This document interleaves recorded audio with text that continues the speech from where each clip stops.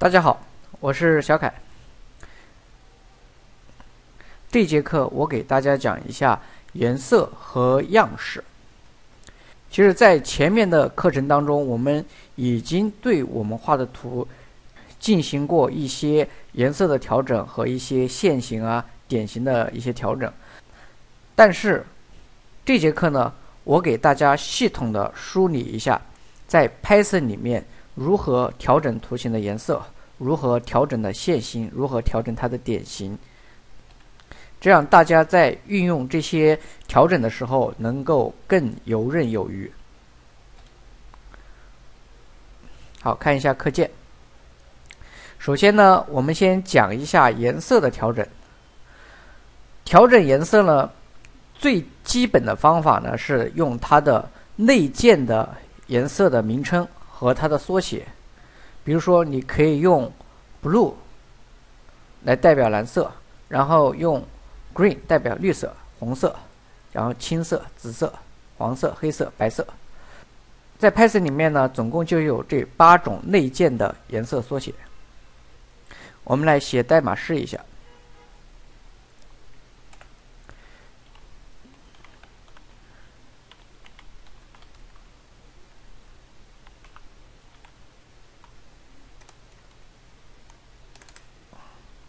我们先生成一个数组。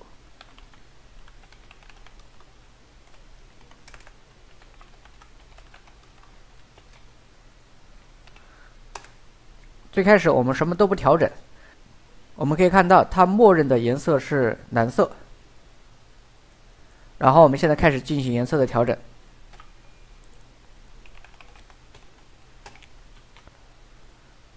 我们打开课件可以看到，可以看到它有八种颜色。我们先挑绿色，green。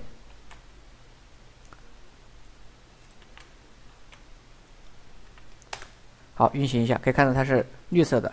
然后 green 它的缩写呢是 G，所以说我们可以直接写 G，这样的话更会更方便。这样运行出来也是绿色的。除了用这种名称的方式来调整颜色之外，我们还有其他的方法，还有三种方法。这三种方法呢，第一种呢是直接就是灰色，但是你可以调整调整它的灰度。然后第二种方法呢，是用在 HTML 里面最常见的一种十六进制的颜色表达方法。然后还有一种呢，是用 RGB 元组的颜色表达方法。我们把这三种方法都尝试一遍。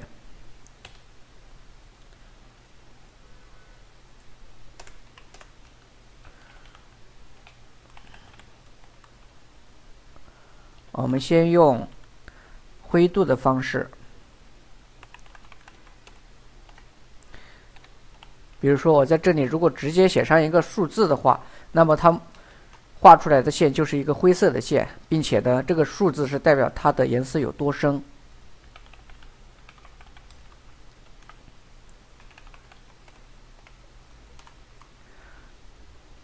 然后我们再用十六进制的方法，这里我随便写上一个颜色。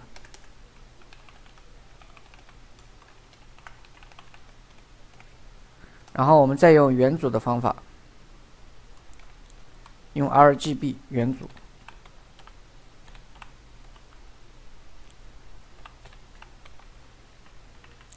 好，为了区分开这些线呢，我们都给它一定的位移。好，我们运行一下，我们可以看到，这个是我们画出来的四条线，然后每一条线呢。就是代表了不同的颜色，然后我们可以看到最下面这个线呢是代表这个绿色，是代表这个绿色，然后上面这条线呢就是这个灰色，零点五灰度为零点五的灰色，然后这个呢是个紫红色，然后再上面呢可以看到这个是一个深蓝色，有点带黑的一个深蓝色。好，现在大家可能会有个问题，比如说如果我想用。这种十六进制的，或者是用 RGB 的形式来自定义一种颜色的话，那我们怎么知道它这个颜色的代码是多少呢？这个很简单啊，在网上呢有着大量的可以去查颜色的的这种工具。我们随便找个点开一个看看啊。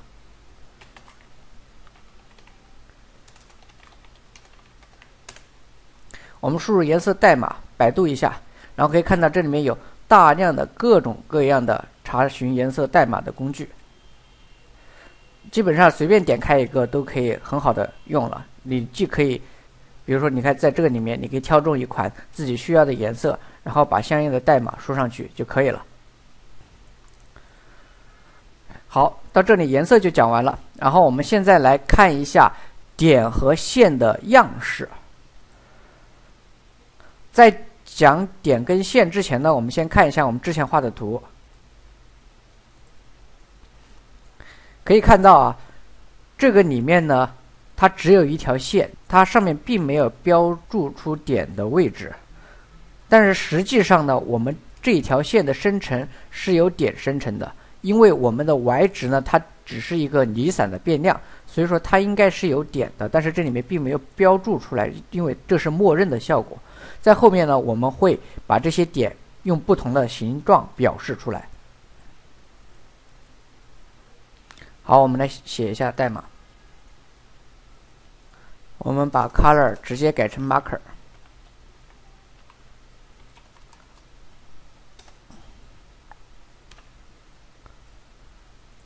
我们可以看到，这个 marker 有很多种，然后我们任意的挑几种尝试一下。第一个是 O。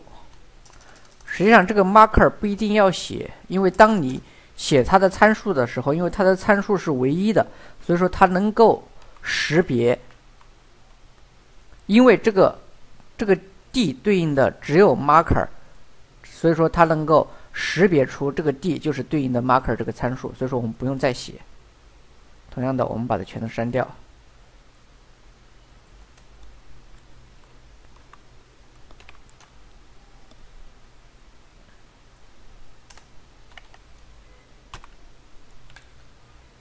好，我们现在任意的选了三种点。好，我们运行一下。好，我们可以看到，这是我们运行的结果。然后大家可以发现，第一条线呢，也就是对应的这个 O，它是一个圆点。然后第二天的第二个呢，D 对应的是这种菱形。然后第三个的是这个倒三角符号，对应的是三角形。然后 P 呢，对应的是五边形。然后大家可以发现一个现象啊，除了第一条线之外，其他的是没有线段的，这是为什么呢？我们观察可以发现，因为这个里面呢，我显示指定了 marker，所以说呢，它这里有了线段。我们可以再尝试一下，看是不是因为这个原因。我们在这里也加上 marker，然后运行一下。可以看到这条线上呢也出现了线段，就说明呢，如果当我们显示的指定 marker 的时候，它是会默认画出线段的；当我们没有指定 marker 的时候，它默认只是画出一个点。然后另外呢，我们还会观察到一个现象，就是说，虽然我们这里没有指定它的颜色，它仍然是显示了不同的颜色，是从蓝色、绿色、红色，然后青色。这是为什么呢？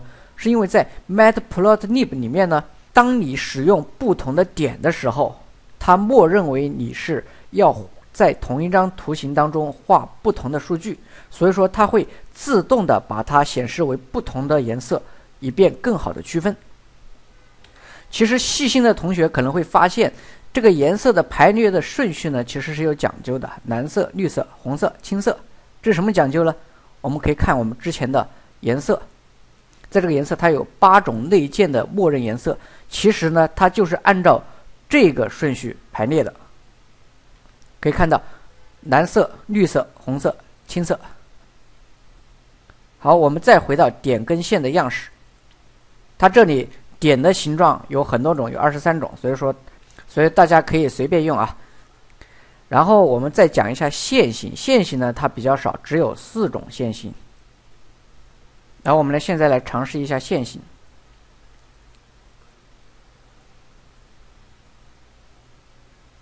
我们这里也直接删掉。然后第一种线型呢是虚线，然后第二种呢是点画线，第三种呢是点线，然后第四种呢是默认的实线。我们运行一下看。好，可以看到这个就是我们画出的图形。为了效果更好一点，我放大一点啊。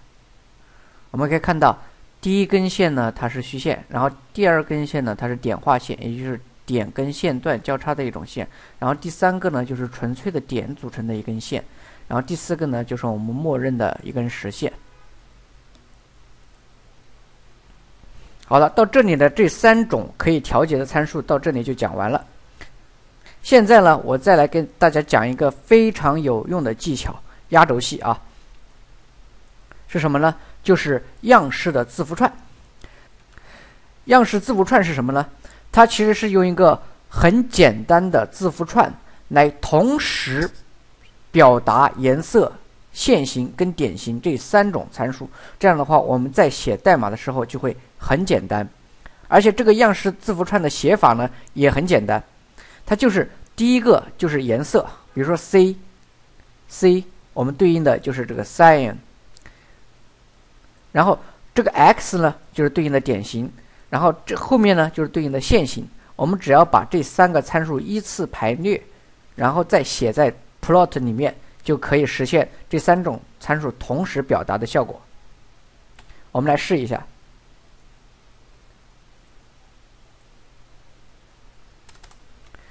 第一个参数 cxx 减减，然后第二个参数 kp，然后第三个参数 mo。好，我们运行一下，这个就是我们的效果。可以看到这三条线，它们的线型、颜色和点型都不一样。通过这种方式呢，我们就可以很简单的去调整。这三种不同的参数。